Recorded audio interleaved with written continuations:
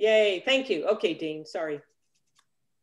Uh, as I was, okay, as I was saying, you know, we've been through this journey of trying to help you learn uh, all the different aspects of fly fishing. And uh, so um, we, we started with the basics. We got into some casting, you know, the, the, the basic mm-hmm. cast, and it's very difficult, you know, to do it online. Um, and, and Linda and I have been talking about doing it now that most of us have had, had our shot, doing an outdoor session uh, at the pond that, uh, that, that, she and John fish at. And so, you know, if we can do that in the next few weeks, uh, that would be good because we can begin to uh, help you understand, you know, what some of the things are that we're talking about uh, with regard to, uh, you know, the overhead cast or the, you know, the men cast or roll cast or whatever it is.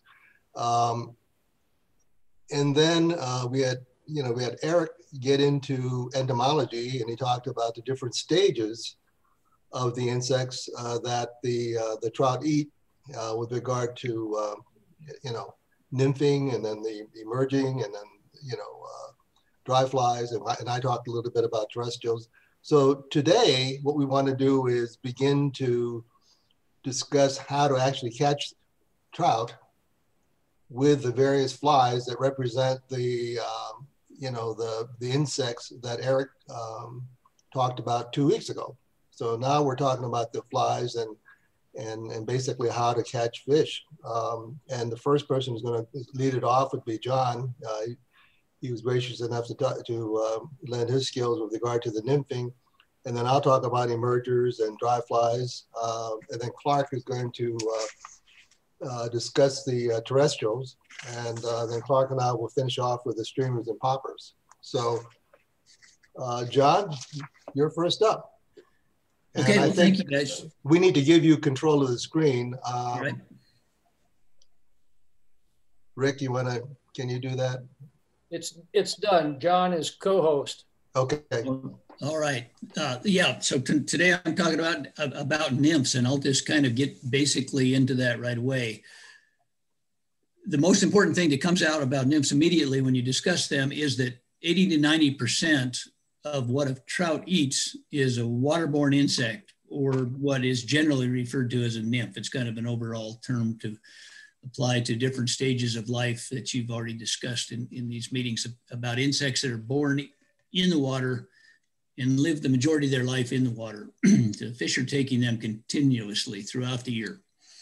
Um, I'm going to go right into some pictures if I can here. Um, this, this technical part of this whole thing is the, uh, it just be a lot easier to do it in person. Let's put it this way. So this is a caddis nymph. Can you see that? Is that visible? Mm -hmm. Okay. All right. And I theoretically I can move this forward. Just a minute. John, I think you need to share. Yeah, I, I, did that. Let me get to yeah, the I right, saw I let saw me get the, to the uh, right let me get to the right screen here.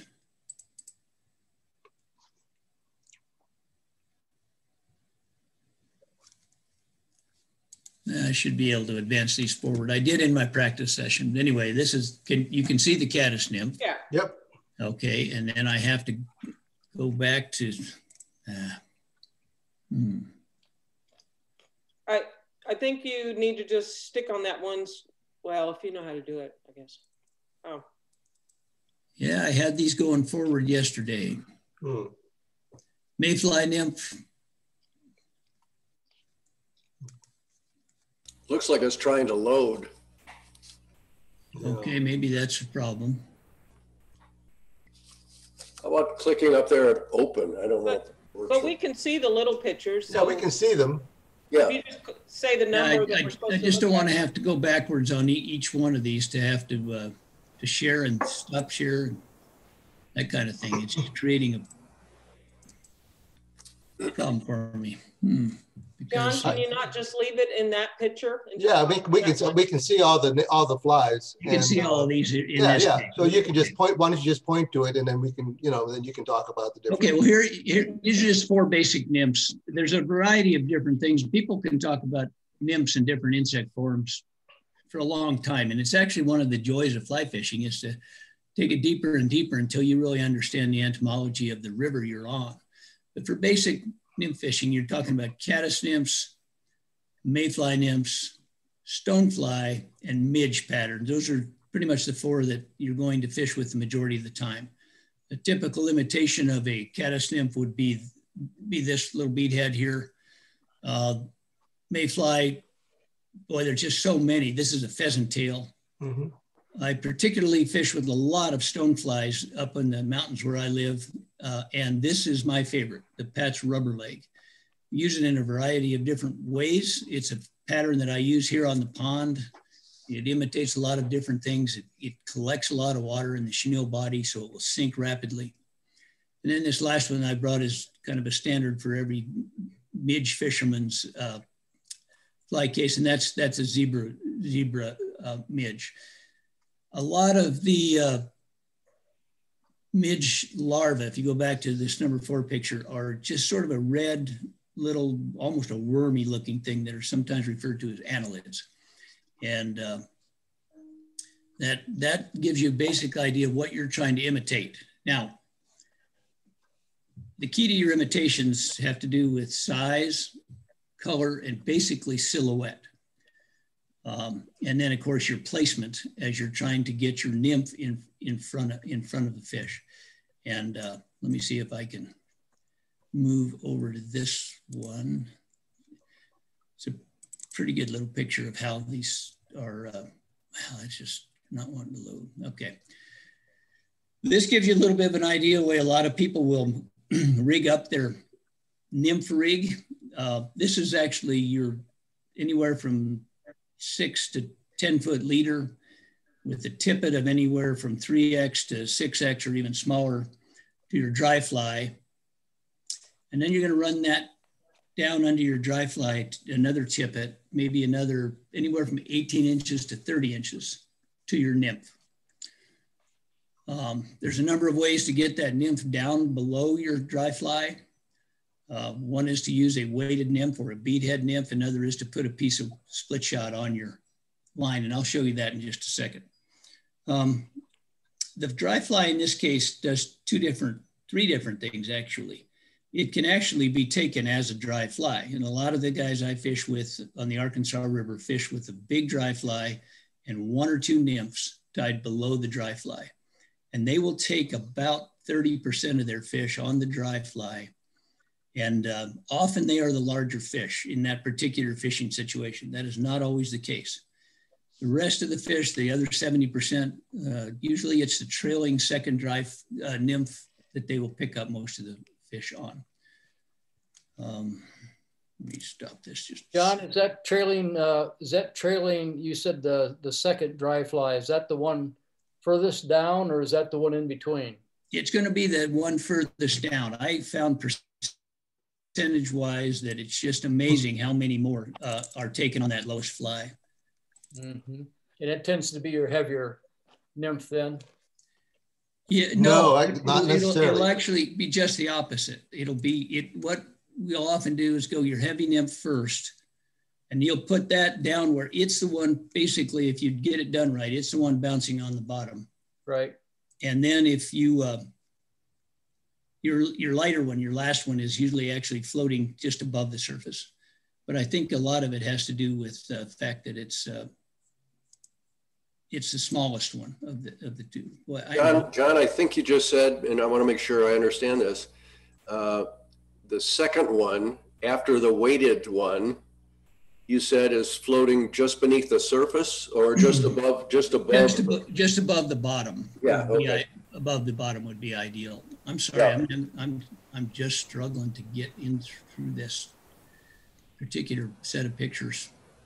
I don't know how to get, uh, I'll, I'll just go to this for right now and show you. Um, Indicators, yeah. That's, so when you, when you rig up a system, oh, brother, I, I went through this two different times yesterday without this problem. when you rig up your system, basically off of your line, you're going to run anywhere from, let's just say, seven to nine feet of leader material down to approximately three or four X. Then you're going to run, you're going to put on an indicator of some kind. This little indicator is called a thingamabob. It's filled with air. And gosh, I hate to say it, but you might as well just call it a bobber. And that's a word that fly fishermen just never want to use. they, uh, what like, is. They don't like that term. so instead, we use the term indicator, which sounds much more sophisticated. Um, but the, the, it is more than an indicator. It is a suspender. It is suspending your fly in the water column at the appropriate depth to what you're reading the water and to see where the fish are feeding. When you think about nymph fishing, it, it's, there's two or three things that are so important, eh, as much as important as, as I can. It, you, you need to have your fly, your nymph, your bottom flies in front of the fish, preferably within a, a, foot of the bottom or even bumping on the bottom. You'll see a lot of videos that say if you're not snagging the bottom and catching rocks or catching sticks periodically, then you don't have your lowest fly low enough or your heaviest fly low enough. And that's probably true, but it's also very expensive because if you fish heavy water like I do and you're bumping the bottom all the time, you're, you're losing flies on submerged rocks and sticks quite often. So I try to stay just a little bit above that. I lose a lot of flies as it is. The second thing that you want to do is you want to make sure that your fly is in the right, we'll call it the right lane. So you're talking about water column from top to bottom of the water, and your lane is to where you're fishing, your fish are choosing to lay to feed. So speed and depth are the two key uh, words that you need to know about uh, nymph fishing. Let me see if I can get back into some of my uh, pictures here. Hmm. Now they're all gone.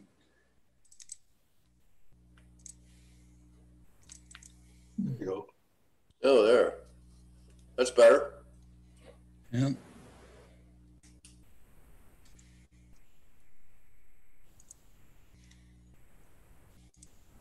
All right, let's try this. Can you guys see that? No, mm-hmm. you need to share it. We- to Yeah, your- we saw the, yeah, we saw the pictures of the indicators that were a larger picture that time. but nothing now. So you have to hit your share.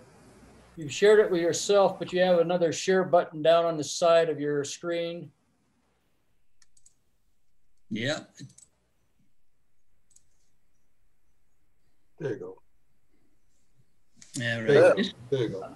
All This is, this, this is a picture of uh, an indicator that's made out of yarn. That's a real common indicator. A lot of the guides use this. If you're fishing a lot out of, of, of boats on rivers, famous particularly for the San Juan River, slower rivers, they'll use a big yarn indicator. They'll grease it up and it sits up there and, and they'll tend to use that on water that's a little bit slower. These big fish that you're fishing for in the San Juan and some of these more famous rivers like the Bighorn and the Madison and those kind have, have been caught a lot of times. So when they are feeding, uh, particularly if they're feeding on midge patterns like they do on the San Juan, they're going to suck that in and spit it right out. And it is such a subtle take that unless you see your indicator move or know what to look for, and I can't imagine how many times I have sat there with a guide on a float trip, particularly on the San Juan, and he said, You just missed a take or set, set, set. And I'm like, What are you talking about? When I'm fishing with a thingamabob or one of the Palsa indicators, that thing's going to jump about six inches or two inches, or it makes a dip of some kind. Sometimes when you're fishing with a yarn indicator on soft water, it creates just a little concentric ring. So down five feet below that yarn, that fish is just sucked in that little midge, that 22 size 22 zebra. And you have to see that concentric ring. Now, when you set your hook, you're basically uh, just raise your rod tip. If you have done your line management properly, you're just raising your rod tip. Tip. Let me uh, get see if I can get out of here again. I, I, I wish I could show you this stuff better. I feel feel bad about this that this hasn't worked out. Um, that, John, that showed really well that time. Okay. That's fine. You're not seeing that though. There, this next one. This is a good one that I need you to see. So, let me get back up here.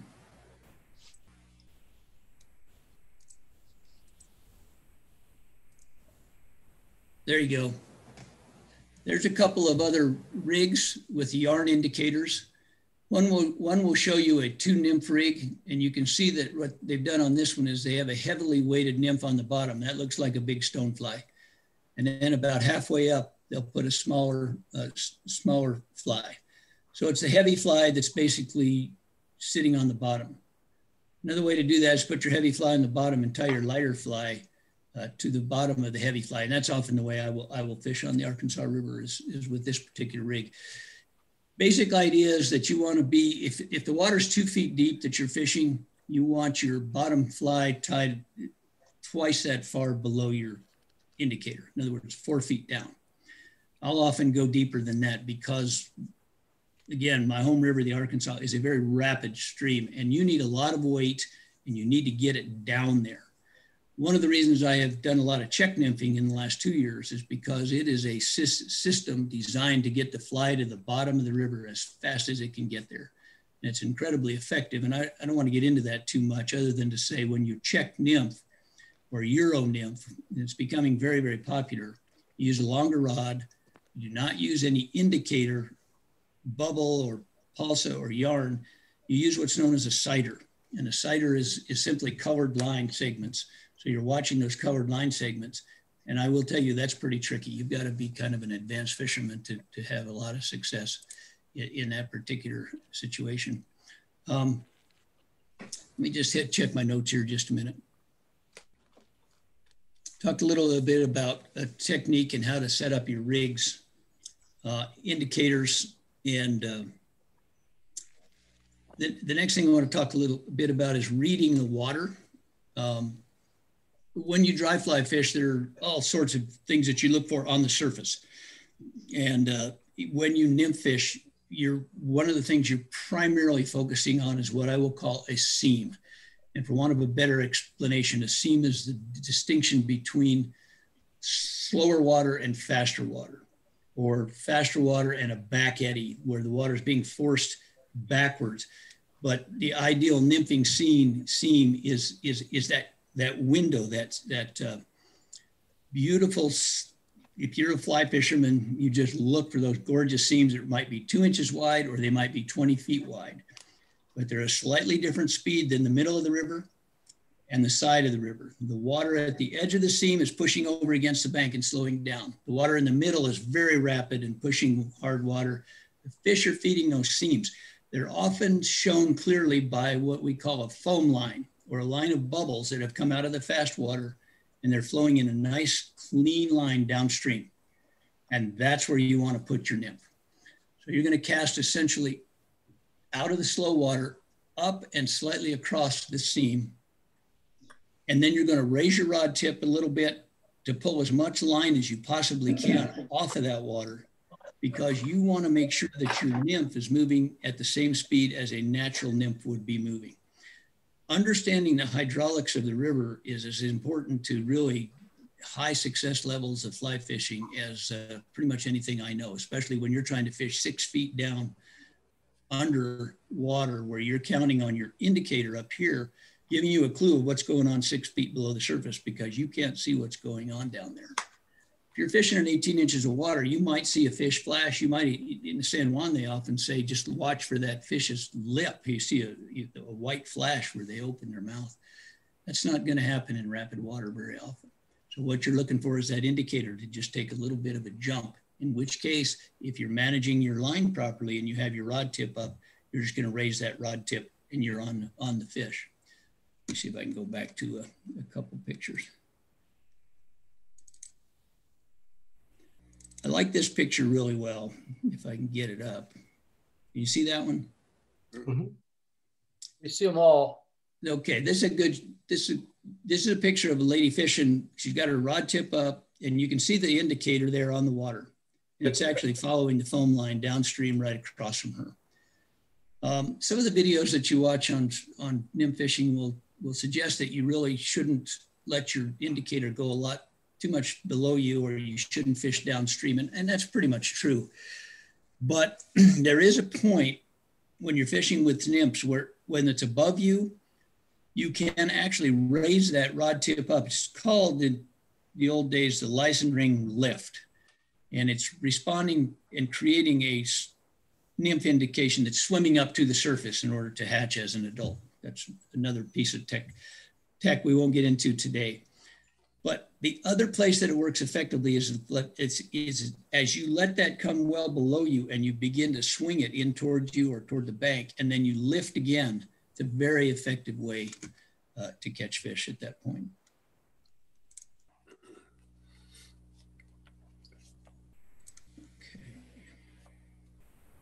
Um, just kind of cover a couple of more technique things here if I try to get back to one more of my screens. More right pictures. Yep. I don't know how I got that one. Are, are you seeing that? No. Oh. Okay. Wow. Share screen? Yeah. Uh,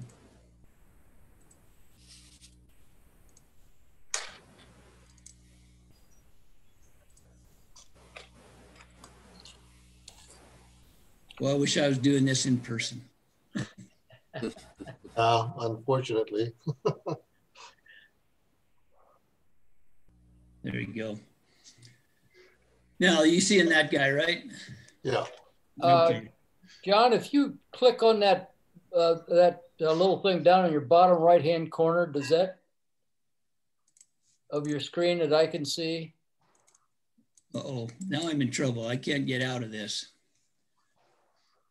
It's it's on the screen that we're looking at. Uh, it's down at the bottom right hand side. The, but I don't. No, think, I, I, think you're looking at a at a single screen, and we're looking at a multiple screen. A multi, yeah. uh, all of your flies we're looking at. All the photos. Yeah, I'm sorry. I I I have done something here, and I can't even see you guys now. oh, we can see oh you. We can hear you. all right. Well, let me finish what I'm trying to say, and then I will pass this on. You guys move on to the next presenter. All right. Okay. Let me just say a couple things about just kind of sum this up with technique. If you're, are you seeing me?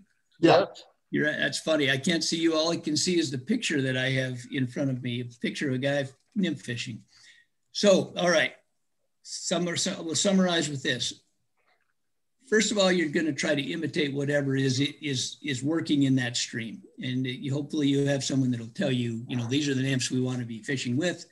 This is the good imitation. We're going to use this particular bead head. We're going to tie on one or two, and then we're going to uh, rig up with our indicator. Then when you cast, you're going to cast essentially up and across, and you're going to, by doing a number of different things, you're going to try to keep that nymph in the feeding zone as long as possible. One is to raise the rod tip so that you're not dragging a lot of excess line that's pulling your fly unnaturally downstream.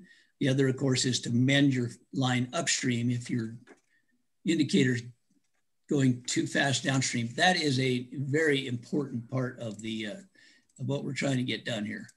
Is you you need to mend, and we will talk more about that at another time. Um, secondly, oh,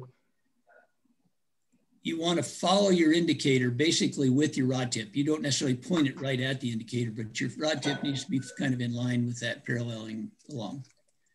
Um, and uh, that way you can adjust your speed and your depth. Um, and so when you see an, your indicator jump, you can raise your rod tip and, and you're on the fish.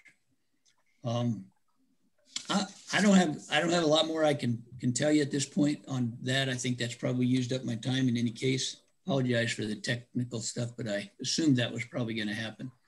No, that was good. I think I'll pass, pass, that on to the next presenter, unless you guys have questions that you want to want to ask. It I, have got I've got at least two questions. My first one would be, uh, why would you not use just a, a dry fly as your indicator all the time and increase your odds? I mean, why would you use an indicator? And I know you do, and I know there's some reasons for it, but I don't, you know, I'd always use a hopper or something as a dry fly. Yeah, I'll, I'll, I'll give you two or three reasons. Uh, one, one of the ones is that a lot of the times they don't float nearly as well. And so if you're heavy fishing heavy seams, like real heavy water, I last summer when I was up in Wyoming, right, I was fishing just the fish, the cutthroats and the whitefish both were in very heavy white water. And uh, I don't know why, but they wanted oxygenated water that day. I wouldn't have been able to float that hopper more than about uh, 10 inches. It would have been down even if I had greased it properly. Right.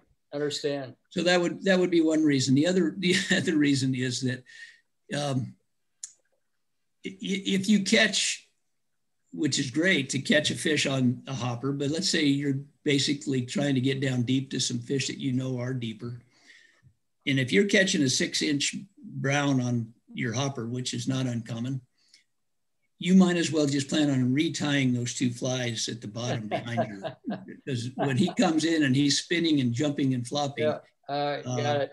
Your rig is going to be a disaster. That so that would be the, the two reasons. But my son only fishes with the dry fly on top, and I have a lot of friends who just can't see any point of using a bobber when they can use a dry fly and maybe catch an extra fish.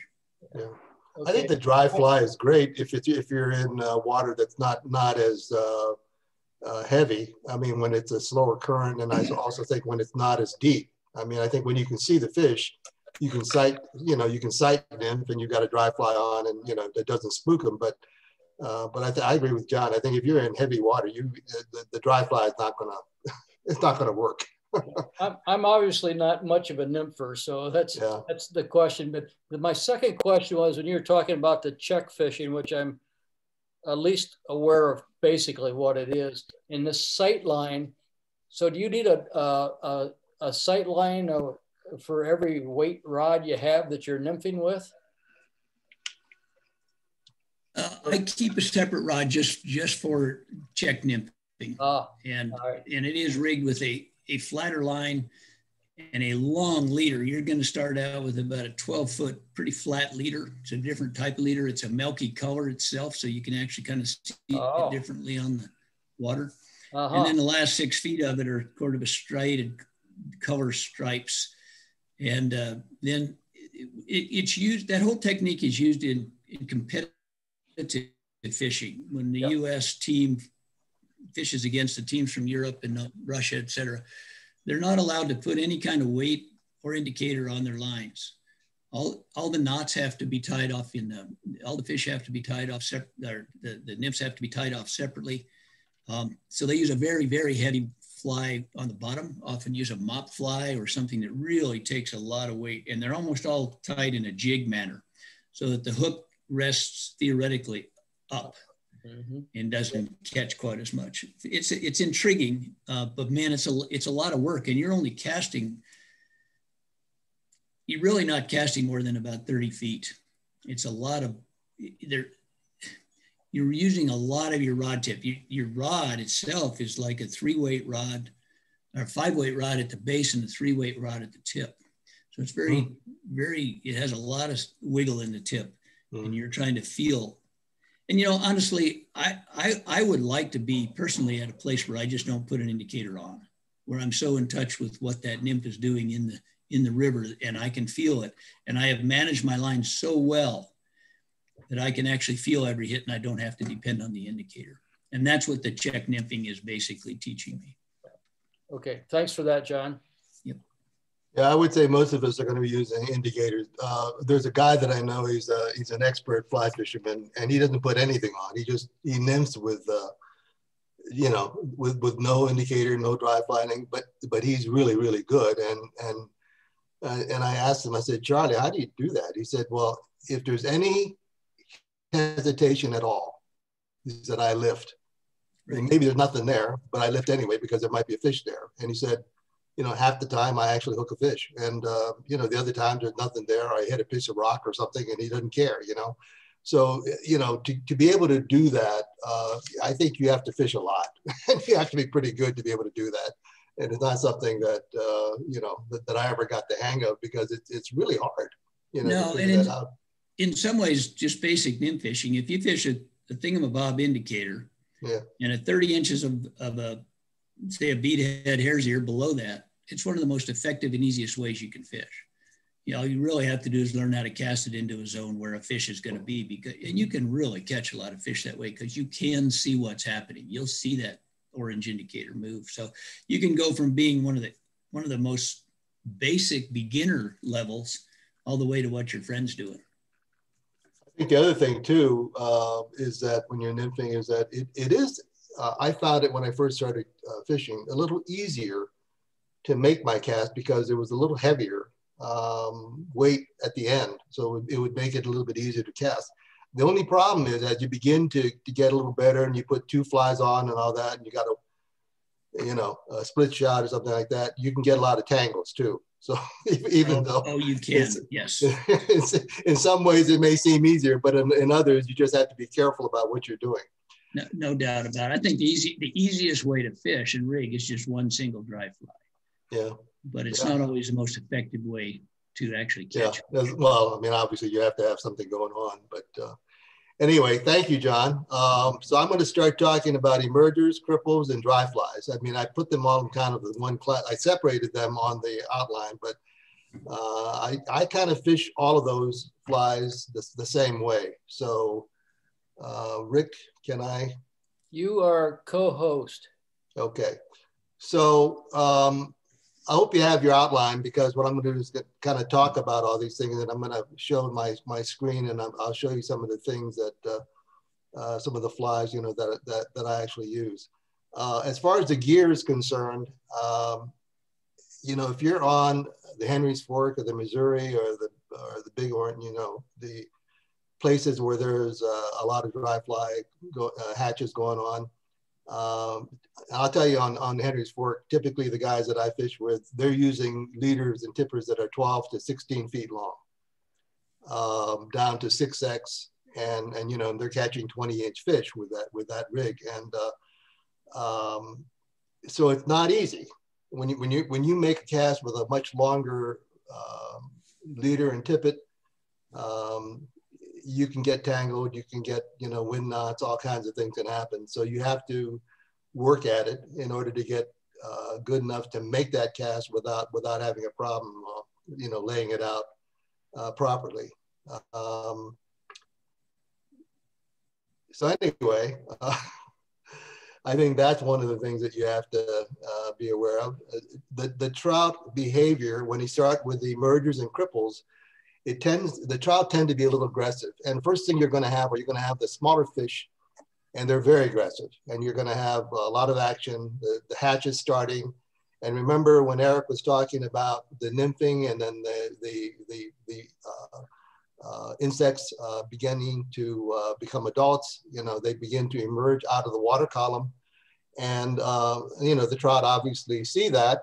And so the small fish start getting very excited. And uh, uh, normally I usually wait because eventually you'll start having bigger fish come up. And what happens with the bigger fish is you'll see, you'll start to, they're not taking the, the, the fly off the surface, they're taking it just below the surface.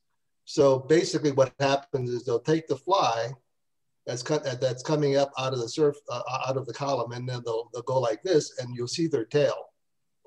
Uh, and and you see that and you begin to realize okay and when you see the tail and the tail is is pretty big you know that's a big fish so uh, typically uh, I, I, will wait until I, I start seeing that kind of uh, behavior and uh, I want to show you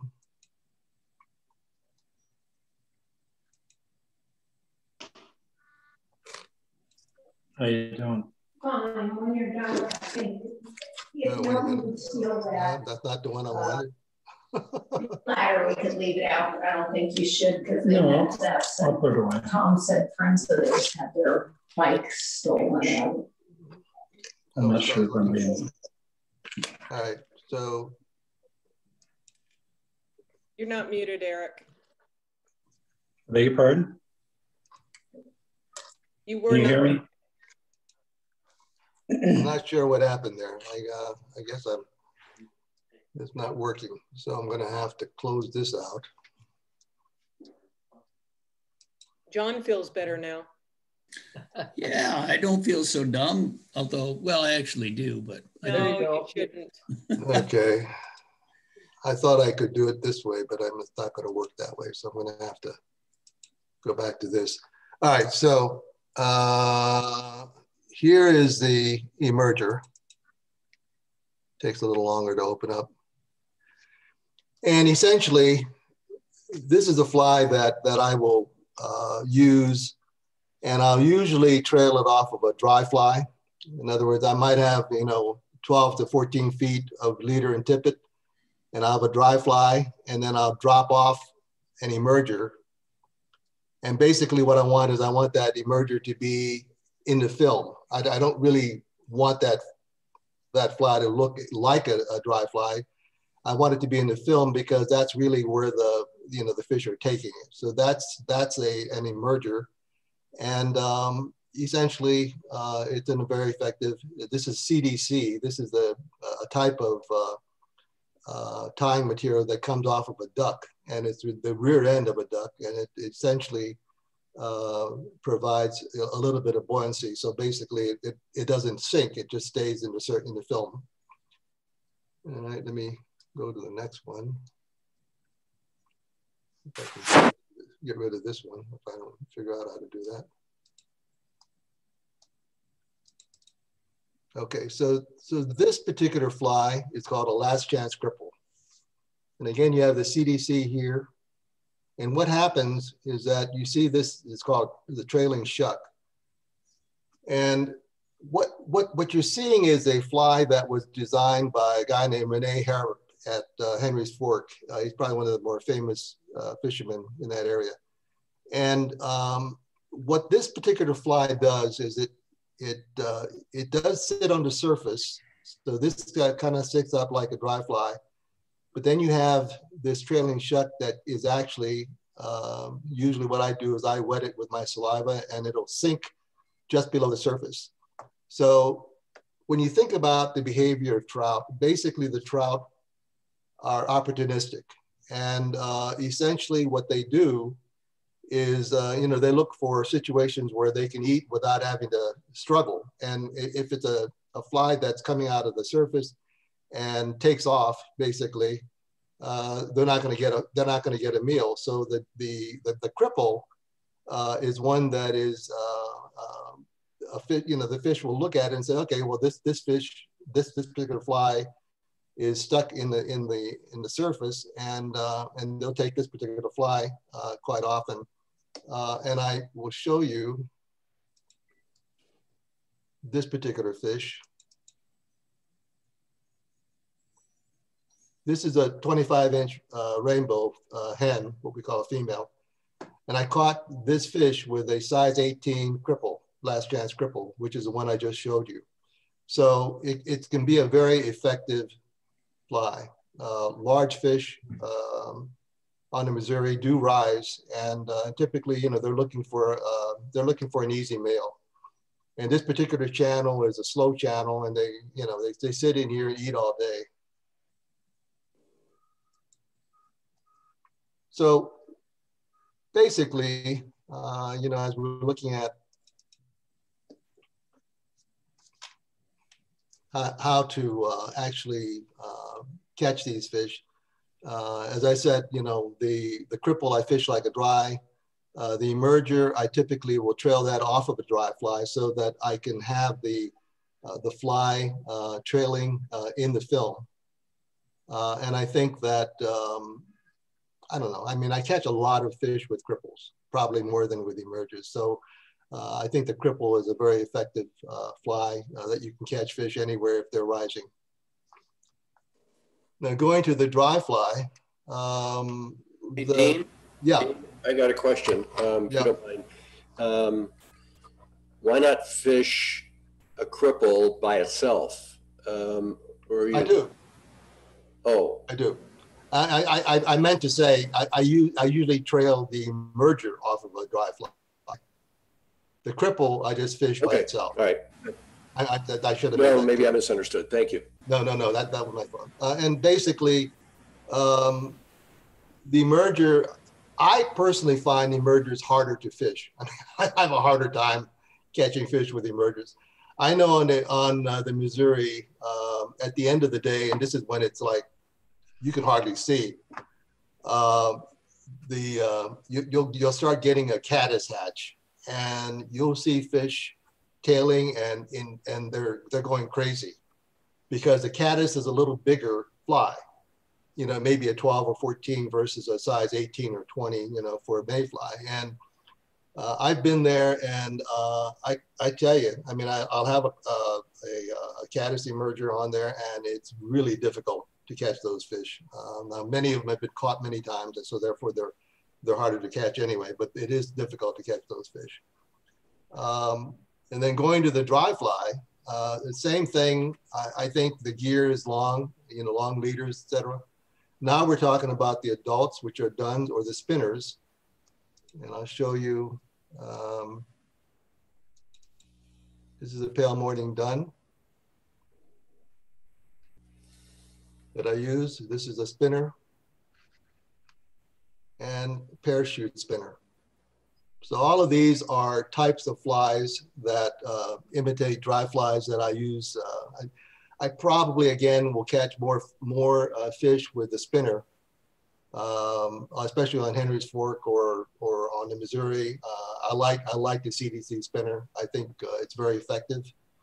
Um, when I was showing a picture of the uh, trico hatch earlier in our lessons with, with Karen, uh, essentially, uh, this is the fly. This is not the particular fly, but the, but uh, uh the actual uh, trico was actually uh, smaller than this. And I will show you. Um, well, no, I can't find it. So anyway.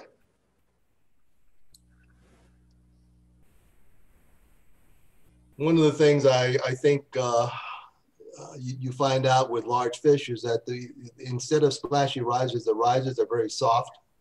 Sometimes you'll just see a dimple. If it's a dry fly, you just see a dimple and that, you know, and that fish is taking a dry fly.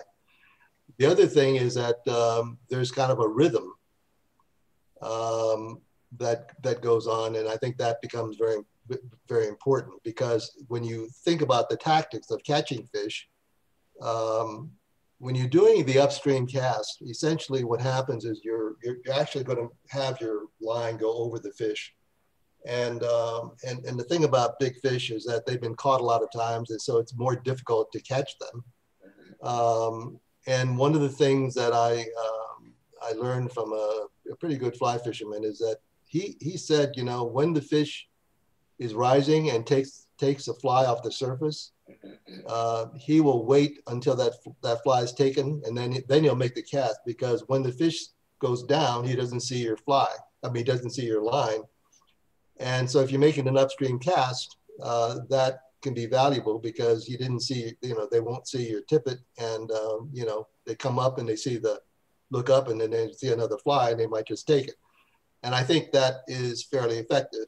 Um, one of the one of the things that we find uh, when we're on Henry's Fork is that just about everybody there, including the very best fishermen, are doing downstream casts. They're doing downstream casts and they're doing angle casts so that the only thing the fish sees, or the first thing the fish sees, is a fly. They don't see your tippet, they don't see your line, all they see is a fly. And uh, the, the, the problem with that is that the downstream cast is not an easy, easy cast to learn because you have to keep the fly going downstream at the same uh, rate as the current. And so you're actually flipping out line, you know, with your rod. Um, and um, as soon as, as soon as, you know, you don't keep up with it and there's drag, you know, you, the fish will never take that fly. Um, there's a there's a guy that uh, actually helped him catch a fly uh, fish one time. Uh, he's a very famous guy by the name of Eddie Pinkston, and uh, he he died uh, about six or seven years ago. But um, pretty well known guy.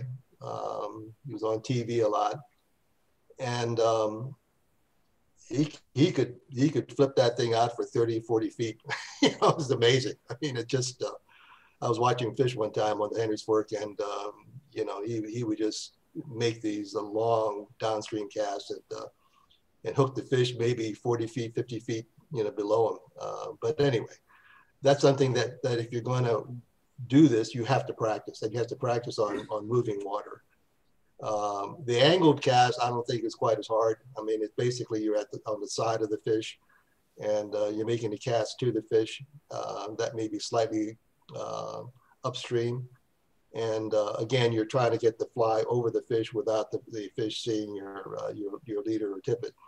Um, and, you know, these, these fish become very wary because, uh, as I said, you know, by the time they get to be 16, 17 inches, they've been caught a lot. And um, so they're going to be, uh, um, they're going to be a lot tougher to catch. Uh, let's see that that I've covered just about everything that I wanted to cover. Um, and I think um, at this point, we're going to move to Clark. Right, Clark, are you about ready to talk about terrestrials? I'll do the best I can. Okay. Uh, let's see. Uh, okay, Clark, you are a co-host. Oh my, thank you. Don't let it go to your head. let's, hope, let's hope I can do this. good presentation there, uh, John and Dean. Those are both good, uh, good stuff. Um, terrestrials are really, honestly, one of my favorite ways to fish. And um, it certainly doesn't happen all the time. You can't just go out and assume a fish is going to take a terrestrial, but why?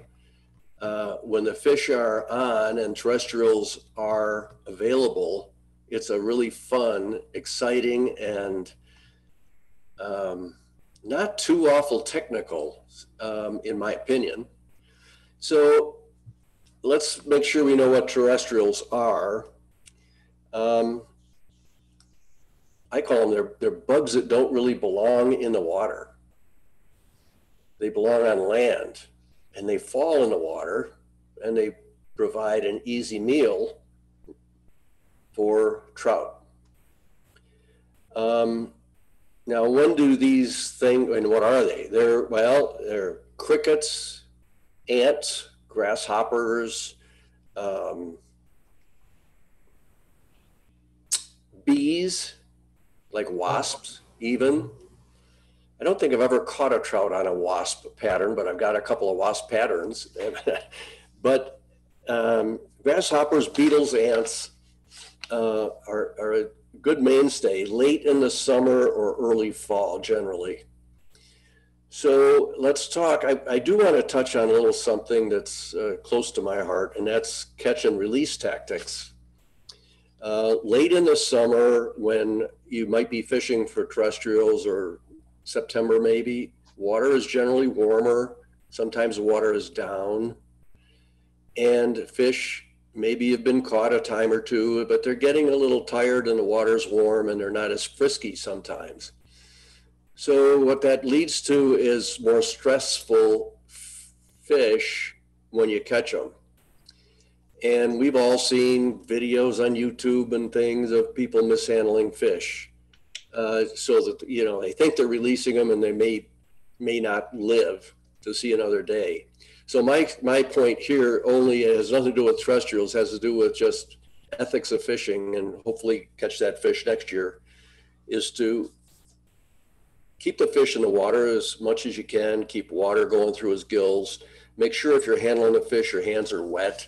If you got to take a picture, which I generally do, you know, get them up and in the water quickly make sure you release them in the right way. If you're with a guide, you'll know how to do that. But in general, you need to make sure the fish is ready to go out of your hands um, before you let him go. He should swim away when he's ready. So, um, if anybody else has anything to add to that, I just wanted to throw that out there because um, yeah, Clark, that is something very near and dear to my heart too, because I see evidence of abuse around the SaddleBrooke Lakes, and it's not any of us. Uh, rather, it's uh, kids that come from Catalina or whatever, and and it pains. Well, there is one fisherman, spin fisherman, who uses a rag he carries in his back pocket to hold the fish, and of course, that's wiping all the mucus off. Mm. But the one thing that I learned of late that beginning fisher fishermen may not know is uh, when you're trying to revive the fish, don't pull it back and forth because you actually can drown the fish when you pull it backwards. Um, rather, you just, if you need to help the fish get some air, you kind of bring it forward, but don't be dragging it back again. Um, good points. I, uh, um, the hardest fish I had to revive, and this is a true story, it just happened last year when Linda said I went to Christmas Island. It was my bucket list. And I'd never done any fishing like that ever before. And I was fortunate enough to catch a big uh, GT, a giant trevally. Well, this giant trevally took this big fly and he put it down right, I, I guess, right in here. You know, where you've got gills on the outside, and then between the gills, you've got what do you call them, John or Dean? Uh, just that area, which is down the gut, but not all the way down. Mm-hmm. So the point is, this guy was bleeding, and I it took me you know 25 minutes to get this fish in on a 12 weight, and I get him in, and there's blood in the water, and took a couple of pictures, but it honestly took 20 minutes to get him going so he could swim away because he'd lost a fair amount of blood. It was a long fight, and um, mm-hmm. and but he, he swam away finally. But it was it, it, there were times where I figured he wasn't even going to live, and this yeah just I would have felt terrible seriously. So anyway. Uh, let's go on to anybody else. Let's go on to terrestrials. um, fish are opportunistic, of course, as I think Dean and John both said. Um, it, it, if you've got a running stream, let's say a river, and you've got a, uh, trees overhead or grass on the banks, and the wind is blowing a little bit, you're going to have some insects fall into that river near the edges. Um, and when they fall in the river, it doesn't take long generally for a trout to uh, to scarf one of those up. When you're casting with a terrestrial, um, and I got some pictures coming here, but um, when you're casting a terrestrial, you don't. To me, the presentation isn't all that critical, because you really what you want to do is create a little bit of a splat. If you've got a grasshopper pattern on your line, and you throw it towards the bank, you want it to splat just like a grasshopper would if he was being blown into the water. That attracts the fish just because of the action on the water. And that fish is going to try to get that hopper or beetle or ant before that, that terrestrial can get away or before another fish gets it. So therefore, from that standpoint, it's not really a easy light presentation you need like you would with a mayfly or something. Um, let's go to some let's see if i can do this. Let's go to some pictures. Uh-oh. Okay you have to have the document open on your desktop and then screen. There you go. Perfect. You got that one? Mm -hmm. yep Dean was talking about um, this is a picture of a picture actually. Um, Dean, I think, was talking about catching uh, big fish on small flies, and um, this certainly happens. Uh, John mentioned it up about Navajo Dam up at uh, uh San Juan. Very small bugs, smaller than this actually, um, in big fish. So you really can catch big fish, and I love to do it on, uh, on a small fly. Um, here's a small fly box of some terrestrials. Grasshoppers over here on the right. Um, cicadas might be uh, in here. There might be a cicada, uh, other hoppers, all kinds of things. These are mostly foam bodied, um, large hooks, here's a dime. And what makes it easy for a beginning fisherman, especially, is you can see the darn things. You throw it out there, my gosh, you can see the fly for a change. Um, as we get older, and the yeah, geez, prescription sunglasses, whatever, it's still very hard to see a size 20 mayfly sitting on a surface 20 feet away. Uh, these make it easier. As we might all know, uh, some of these things on top, like a parachute, is there basically, and these orange foam are there for visibility so the fisherman can actually see the fly. The fly is sitting up on top of the water generally. Um, usually you goop it up with some uh, gink. I don't know, maybe you can't see that because you can't see me, right? Yeah. Yeah. You did see it? Yes. Or some top ride. Mm -hmm. um, to keep the fly on the water um, on top. Here's another uh, picture of another box. Uh, similar, you got some stone flies in here and you've got uh, ants over here. Um, I just love throwing these things because you can see them and the act action on the surface of the water is incredible. This is just for uh, comparison. Uh, talk about those big bugs. These are like 20s and 22s, nymphs, of course, and you know, very small. Um, but that's what catches big fish sometimes, but a whole different way of fishing, of course. Well, especially on the San Juan. yeah, it, that's what it's known those, for. Those little, those little midges. I mean, it's amazing. Uh, you Yeah. know, Yeah. that they take that. Yeah, and I think that's probably where I got those bugs uh, Yeah. from Yeah. the fly shop up there. Here's some. Uh, I just threw this in here just in case somebody wanted to see it. Uh, some uh, some other nymphs, uh, beadhead patterns mostly, um, just for size comparisons. Uh, here's an ant. Now let's talk a little bit about ants.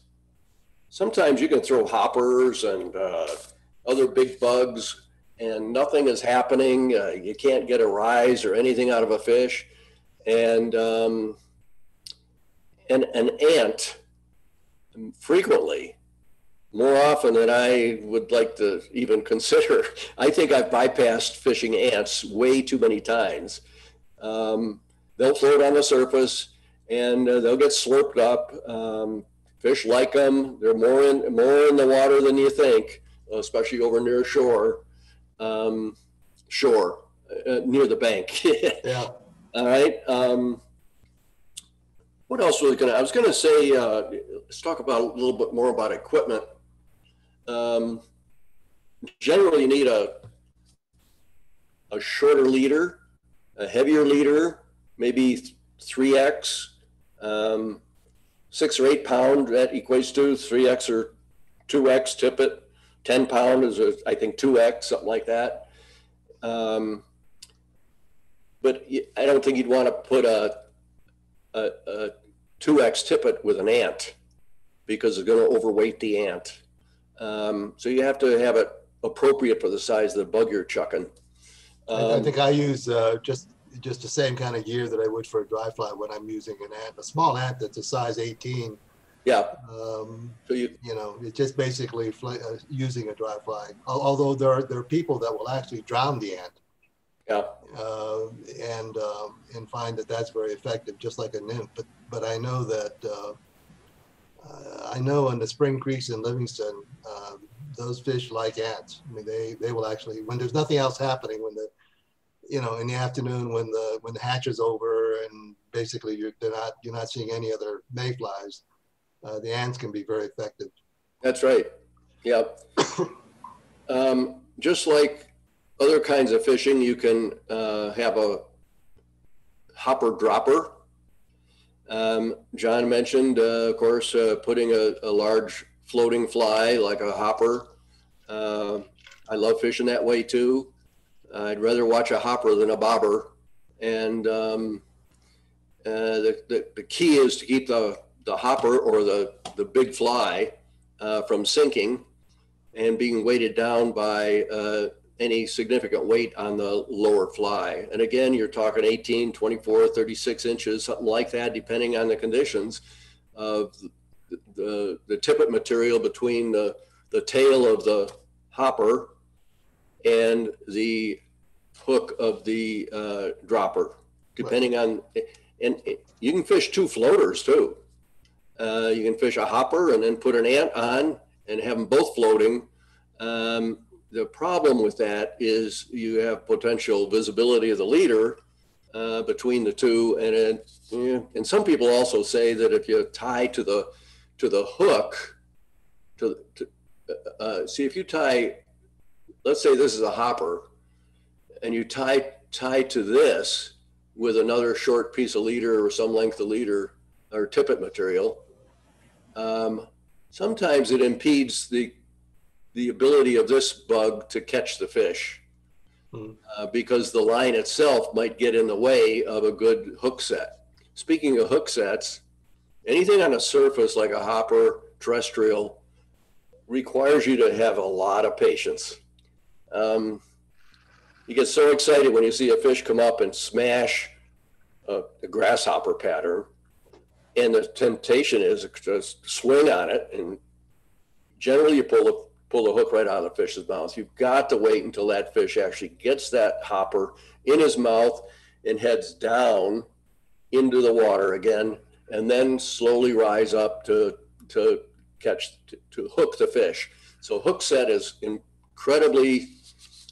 Um, you have to be really um, uh, patient, if you will, about that. Entirely different than if you see a wiggle on a indicator. You see a wiggle on an indicator, you you move right on it. But on a, a dry fly, especially a bigger dry fly, you got to have your patience. Um, again, a lot of times um, it's a short overhead cast generally. The only the only thing that you really have to be not the only thing, but a big thing you have to be concerned about is if you're casting towards the bank.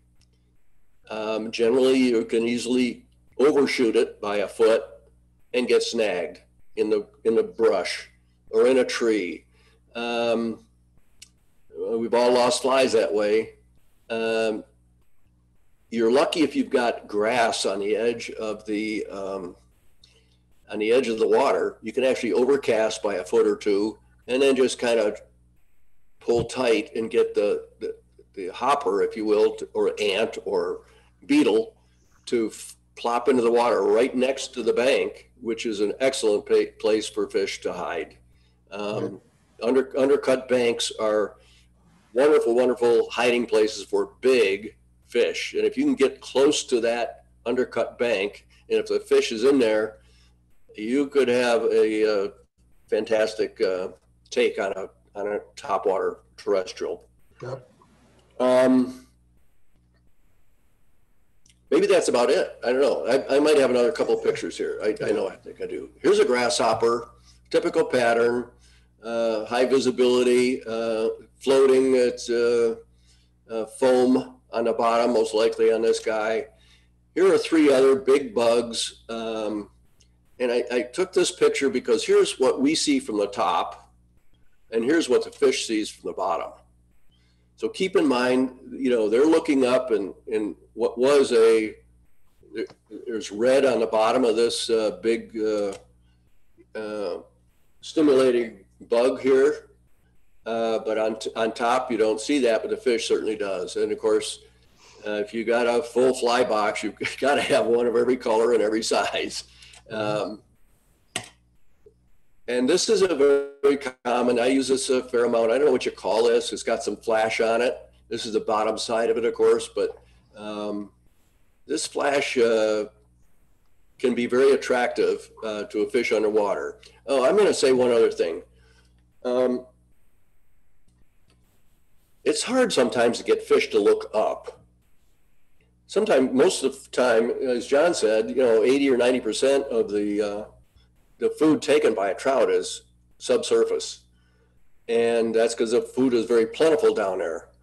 And so it's so frustrating if you want to be topwater fly fishing and with or without terrestrials, and the fish are not really looking up because there's not much happening up there. All the food is down. So therefore, with a hopper or terrestrial activity, if you can slap that thing on the water, even though the fish is looking down, if he's close by, um, he'll take notice. He'll look up and see what was that, and he'll probably respond really rapidly and not have to look that fly over carefully. Um, it's an ambush kind of a thing. So um, I guess that's about all I've got. Um, I'll, make one other comment. Uh, I, I, I often will twitch it. Oh, yeah. I, I meant to. I will often twitch it because uh, terrestrials basically are, are are basically struggling and you know, trying to get out of the water. So sometimes when you twitch it, you know, and the and the fish actually begins to respond to that because they realize that that, that hopper is trying to get away, and uh, you know they'll strike that. But anyway, Clark, that was great. Uh, our Clark, last section is streamers. So we got it. Oh, we got. Uh, I was going to ask Clark a question about stimulators. Mm-hmm.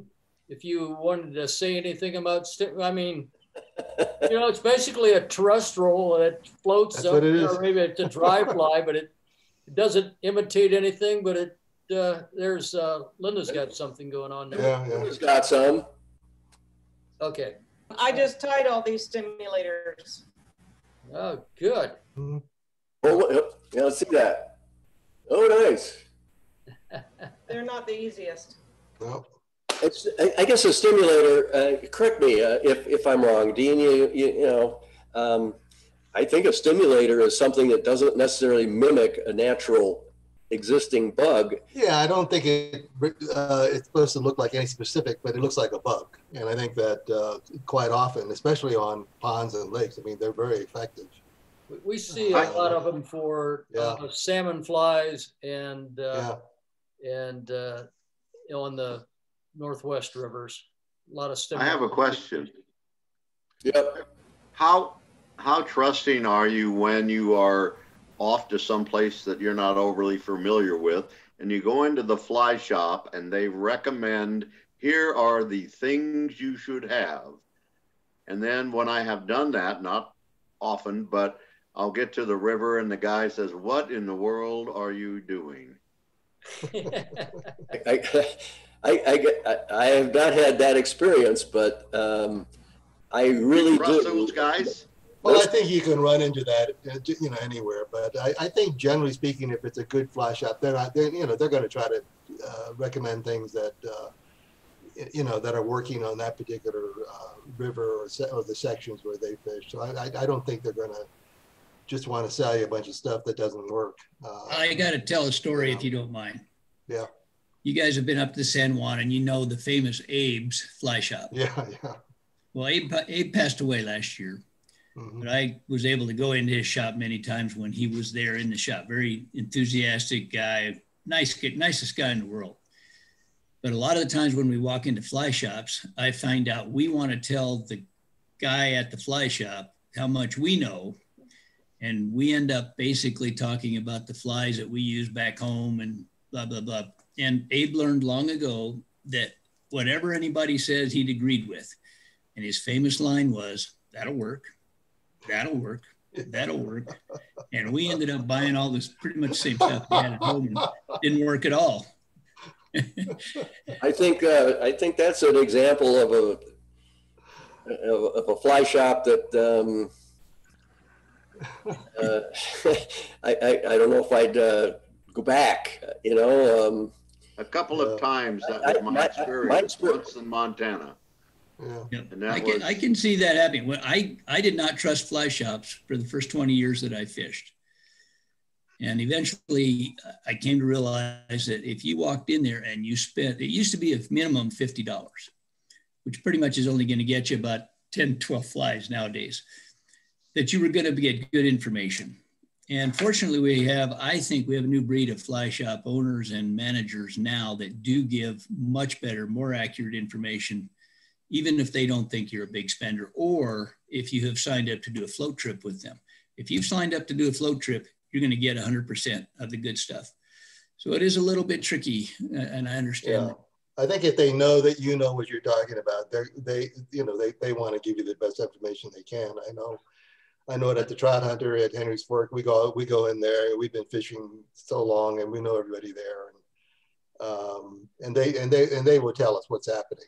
Um, but they also know that we know how to catch fish. So so they're gonna they're gonna basically tell us what's going on and uh, and and and basically we have all the flies. You know, I mean, I I was telling some of them, uh, John. I have a, a buddy of mine who's in Fly Tyer magazine all the time, and um, and he can tie, you know, the last chance cripple. He can tie the no hackle dun. I mean, he could tie any of those flies that are so hard to tie.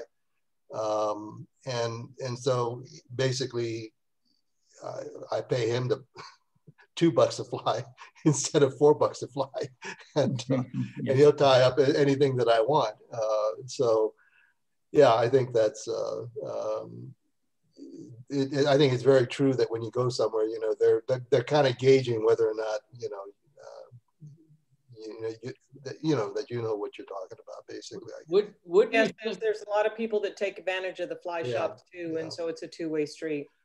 Well, anywhere that I go, if it's somewhere I've never been, I, I usually will hire a guide because I want to I want to find out what's going on, and I do know I can tell when a guy knows what he's talking about. You know, uh, sometimes they're good and sometimes they're not good, but um, you know, once you begin to understand, like I, on the, on the places that we fish a lot, we never take guides because we we know all those rivers and uh, and we know how to row a boat, so we know how to get to where we want to go. Uh, anyway, our last section, we better finish this up, is streamers and poppers.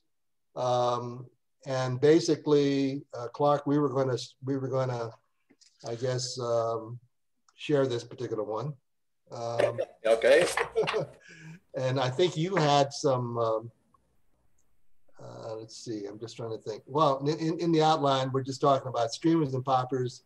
Basically, you have uh, two types of, uh, of uh, bait that they're trying to imitate. One is a fish, you know, a bait fish, which would be a small, uh, uh you know, fish that uh, other fish are eating. Um, and then the other, uh, which is leeches and sculpin and things like that. Um, those are those are basically, you know, I think a lot of the ones that Linda you've been using in uh, in the ponds. Um, Linda, what, Linda, what have you what have you been using in the ponds? Uh, sculpins?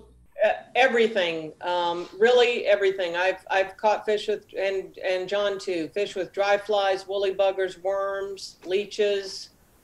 Uh, right now, I'm tying up these guys, which are called a magic bluegill bug or something, and it's just a it's just a really you know buggy looking uh, kind of woolly bugger kind of thing, and that works really well. I'm going to try these guys, which are um, just some big, bushy. Oh yeah. Uh, but but just everything. I have, uh, you know, I've caught them on caddis and uh, elk hair caddis and uh, BWOs. Uh, just it just depends on the time of year. John. Well, I I tend to use I used so such a favorite is my beadhead woolly boogers. I use them all in Colorado and I use them down here and they're very yeah. effective. And I'll sometimes yeah. drop a about a two foot dropper off of that and use a beadhead nymph. And the bluegills tend to take the nymphs generally, and the uh, bass they would they generally go after the uh, woolly booger. Okay, good. Thank you. Yeah. I think um, you know, the, as far as the gear is concerned, if they're shorter leaders, um, I think the weighting, uh, basically, uh, they're either beadhead or they're weighted, or the hook itself is weighted with uh, some kind of wire uh, and uh, is wrapped essentially. Um, the other thing that you see, and I, I hate them, but are sinking lines. I find it really hard to hard to uh, cast and, and, and, and, fish with sinking lines, but uh, there, there's some people that use them very effectively, and it's uh, and there are different kinds of sinking lines. You know, there, there are lines that are sink tip lines, and their lines that, that the whole line starts sinking, and uh, they are they are different uh, weighted lines. So I mean, uh, I think it's is it John? Is it the sink rate, right? I mean, they have different kinds of sink rates. So some some actually sink faster than others, and anyway, I, I have a hard time with them, so I never use them. But but there are a lot of people that that use them, and I in some places, uh, you know, uh, where they feel like you have to get the, the, the fly down very quickly, and it's heavy water. Uh, that's basically what you're gonna what you're gonna be using. Um, so so those are the ways that you know the the flies are actually brought down. And uh, Clark, did you have something you wanted that you could show that uh, showed the uh, actual different types of flies there, or, or you mean like streamers? Streamers and um, oh, and the other. Um, If not, I, I can, um, I, I, I've got a couple of things that I can show. So, so Rick, if you, if you let me share the screen, I'll, I'll go ahead and show what I, what I put together. and I sent you that picture of that comparison. Yeah, Dean, you're, uh, you're set to go. okay. Uh, let's see. Here is Yeah. a streamer. And basically it's kind of got, got a, a head here, which weight, this is all weighted. So this particular fly is going to get down into the water very quickly. And uh, this represents some type of bait fish. And so when you're fishing something like this, you're actually retrieving it pretty, pretty fast. You're bringing it in pretty quickly because it, it, it's supposed to look like a fish moving through the water. Okay. And the other type of fly that I took a picture of uh, is a popper. And this is a fly that you cast and it's sitting on the, on the, on the surface of the water and you're basically twitching it and popping it. So it looks like an injured bait fish to the, to the, uh, you know, to the fish. And so this can be very effective in some places. I, I think Linda, I think you said that you, you have used these, haven't you? No, she's not there right now. I didn't, I didn't know that she went out. Um, I would tell you, I was in the Bahamas one time and um, we couldn't figure out why there were no bonefish in the flats where we were. And the guide said, oh, uh, that's why there are no fish. There's a big barracuda there. There's about three foot long, three and a half foot long barracuda. And he asked me if I wanted to try to catch him. And I said, okay. So I, I uh, switched to a steel leader and I put a, a popper on I made the cast, twitched it one time, and that and that barracuda came screaming at, screaming at the fly. Uh, my wife Karen, who's about you know 4'11 and 100 pounds, she starts backing up as as the fish are, are coming toward us. But uh, the barracuda took the fly, and 100 yards later, the barracuda was gone. So uh, cut cut right through the steel leader. Um, so anyway, um, those are the kinds of flies that uh, you know that you use uh, with regard to streamers and poppers. Um, I find that when um, you know when you're when you're using these kinds of flies, the fish can be very aggressive. Uh, and as I said, as far as the retrieval is concerned, uh, for bait fish type streamers, I think the, the, the retrieval is very fast. For other types of, um, of, of, flies, you know, that are uh, leeches and sculpins, things like that. I think the retrieval retrieval is fairly slow. I mean, I'm not sure about that because I don't fish them very often, often, very often. But uh, John, are you familiar with that? I mean, is it a slower retrieve generally? I can't hear you. You're, you're muted right now, but. Yeah, they, I, most of the time I retrieve pretty quickly. You do? Okay. Where I might re retrieve two quick ones and let it sink and then bring it from the bottom up. But most of my retrieving for trout is fast. Fast. Okay. For for here in the lakes, um, I think part of it depends on the season. You know, bass moves uh, much more slowly in the winter, mm-hmm. and so you have to slow down your retrieve. Okay. Um, and I find generally I have to let it get down too. Uh, That's the, the difference here. I, same way, I, Linda. I, I, let it go a lot deeper here and have more of a have a retrieve that comes more from the bottom straight up as much as possible. Mm-hmm. Whereas on the rivers, it's more of a, it's just a straight downstream. Yeah, yeah. Um, I know I, I, I have fished in the Potomac for smallmouth, and um, you know that's you're you, you're you're retrieving pretty fast, you know, when you're doing that. Uh, but um, but anyway, uh, I think that that pretty much covers what we wanted to cover um, with regard to the types of flies and uh, how you fish them. Um, are there any questions about any of that, or do you want to? I've got another question for John. On on the nymphing, uh, uh, do you use fluorocarbon much, or at all, or you know, I, I, I don't. Uh, I I would only use fluorocarbon when I get into spring creeks and really technical water. Uh, and I might try that on something like San Juan, but for the most part, I don't really want to fish those places too often my preference is to fish fairly aggressive, fast water, a lot of pocket water, a lot of deep, heavy runs. mm-hmm. which don't require that generally. And I also don't like to fish where it's been fished a lot. I do end up in the San Juan or the Roaring Fork, the Fryingpan that gets a lot of pressure. And when you do that, then you do have to get pretty tactical. Those fish are educated and uh, then you have to go to fluorocarbon. Mm-hmm. It's not, it's really not my favorite. It's expensive. It kinks up pretty bad guides don't use it very much and uh, most of the rivers i fish i don't need it. I know a lot of guys don't use it at all because they feel like it takes forever for it to do, for it to um, um, disintegrate? break down. Yeah uh, so they you know much much longer than fluorocarbon and uh, i mean than uh, monofilament. Um, i will tell you that in um, in saltwater they, they use fluorocarbon a lot. Um, but i think it's I think it breaks down a lot faster in salt water. So I think that covers it all, Linda. So you got a, a few things you want to, oh, do you have a question? I have a question for all of you experts being a novice at this.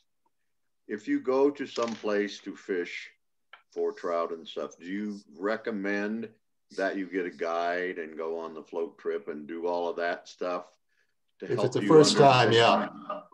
Absolutely. I, I, I'll, I wish in my earlier days of learning to fly fish, I had done much more of that. Um, I was younger, didn't have as much money, that kind of stuff. So you try to do it on your own. You go out and maybe catch a fish or two. I, I anytime I go, I will ge- generally anytime I go, I'll hire a guide, even if it's to water that I fished a number of times before. Um, I'll hire a guide, and it's worth the money. I think especially when you're beginning. It's really helpful. If you get a, you got to have a good guide. Yeah, that's because that's that's really the thing. You know, sometimes you'll go to a place and the, you know the guides aren't very good. I mean, basically, um, you know, we know enough people that uh, if I'm going to some place I have not been to, and I know people have fished there, I, I would check with them and find out exactly.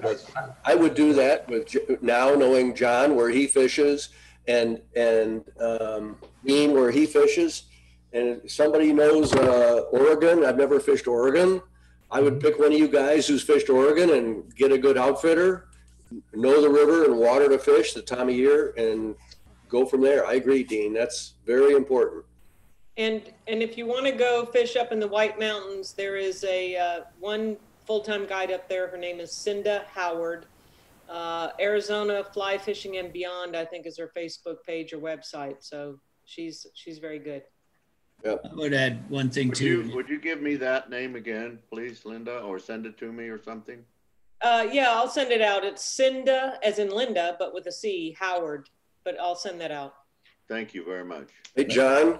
Yeah, John? let me add, let me add one thing about hiring a guide. It, the, the big decision with hiring a guide is whether you're going to wade fish or you're going to float fish. And there's if, if you're there to learn how to fly fish and really learn the way the river works and about insect life and everything else, you're going to learn a lot more on a wade fishing experience. Right. But you know have to know what your legs can handle. And you may not catch as many fish. When you float and they put you on top of the big fish after fish after fish, it's an incredible experience. It's rough on your legs if you're going to be standing up most of the day, but it's not as tough as wading through heavy water. So you really need to decide if you're there for an educational experience or you're there to catch a bunch of fish. And you'll learn in the boats, but you won't learn as much as you will when you're wade fishing. I think if you're going to go anywhere, Can I make to, a comment? Yeah. Go for it, Eric. Yeah, uh, Mr. Ashwood, I had I've owned a couple of fly shops in the past, and as we've been speaking here, people have been speaking for the last hour and a half. What I've been doing is going through my boxes and boxes and boxes of flies, putting together a little packet for everybody. But having owned a fly shop, I can say that at least my experiences were always give the people what they think you, you think that they're going to be most successful with. And people are coming in and telling you what they've used. When I was in Oregon, I fished the Rogue River almost every day for four or five years.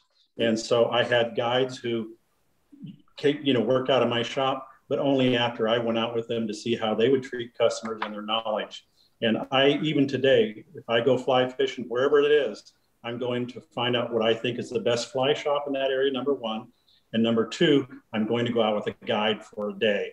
I might be there for a week, but I'm going to go with the guide because they know the water, they know what's working, where to go and how to fish it. And it's the difference between having a good time and not so good a time, number one. Number two, somebody mentioned a stimulator earlier. On the Rogue River, there was a time of the year we used to catch what they were called, there were half pounders, we call them. They were like two to five pound steelhead. And the stimulator, I probably caught as many fish on the stimulator than I did uh, trout. It's just uh, every water is different. And so finding somebody who has the local knowledge will make your trip that much more enjoyable. I've enjoyed the session. Thank you, Dean. Thank you, John. Thank, and any questions, you, Eric. Mr. By the way, my name is Dick, not Mr. Ashwood. That was my father. Um, well, I didn't have. And I, I used to fish the Rogue River, but it's been 30 years ago since I fly fished there, and it it was a lot of fun. It was a beautiful place. That if if you get the chance to go back, when I was there was in the 1980s, and there's a section right below Lost Creek Dam. It was 0.6 miles long. Been I don't there. know if you fished there or not, but yes, we called it the Holy Water. And a fellow who used to fish out of my fly shop and guide, uh, Brian McCullough, we named it after him. The Holy Water was he used to fish there all the time. I went with him on a boat trip one time, along with my wife and my son, and we caught over 106 trout just on a half afternoon. And it was just for my son, who was seven years old at the time, uh, unbelievable experience. Yeah, so it's all good. The more you can taste, the more you like it. Thank you. So, so I should Thank end you. by by saying that we've got two gifts for the graduates of our our academy, the participants or members, and, and one is a um, it's a beginning fly fishing guide, and it's put out by Orvis. This is this is it. I don't know if you can you see that. Okay. Yep. Um, it covers all the things that we talked about in the last four sessions, uh, from gear to you know flies, casting, um, technique, all of that. Um, and then I think Eric said that he was going to put together the package of flies for the the uh, participants. And um, and Linda, uh, I believe we are going to uh, do a casting class at some point and try to give those out to the to the participants at that at that particular event, or get the get a, get the uh, gifts to them uh, separately. So I'm going to let you take that over. Yeah. Um, well, we'll we'll announce soon about when that casting class is. Um, it'll be what probably within the next uh, two three weeks. And Dean, I wanted to say about your book. I'm almost done reading it, and I wish you'd given it to me a year ago. Could have saved me a lot of frustration um, because I've learned most of those things through trial and error now. So, well, the whole point of yeah, the whole point of this is to try to make it a little faster. You know. Yeah, good book. Linda, I think he did that on purpose yeah, this was awesome. Thank you, Dean, for another successful program, and uh, to our guest presenters, uh, Clark and John. And don't worry about the technical stuff. We're not worried about that. We're all trying to learn new just... things. So, um, anybody have anything else? Um, real quick question, uh, John. Would you be a good contact uh, if I wanted to uh, go up to Colorado and fish the Arkansas? Absolutely. Yeah, no, I the guides are all my friends, so I can really you won't have to worry about them telling you the wrong thing up there. Is it is some of it uh, is some of that water big enough for a boat drift boat? Yes, it is. They they have they run a real good. They they have to be licensed whitewater rafting guides in order to go on the Arkansas, so they can do both at the same time. And um, where would you fish out of? What what town? Salida. Salida. Okay. Salida. Yep, Arc, ArkAnglers out of Salida. And I'll Thank join you. All right, great. Thank you. you Linda, did you have, did you have any more? I'm sorry, Dean? Did you have anything else? No, just it's just in time for happy hour. Okay. Five o'clock somewhere. Good show, everyone. It's terrific. John and Clark, thank you very much. Recording, thank Rick. you. Thank you. Bye now. Bye-bye. Bye-bye. Hey, Dick, are you still there?